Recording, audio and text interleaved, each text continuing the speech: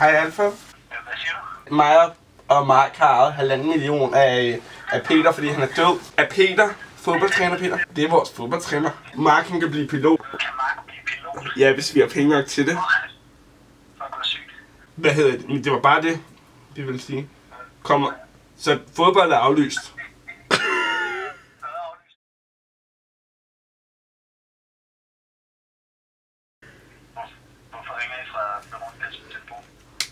Øhm, han, han god aften.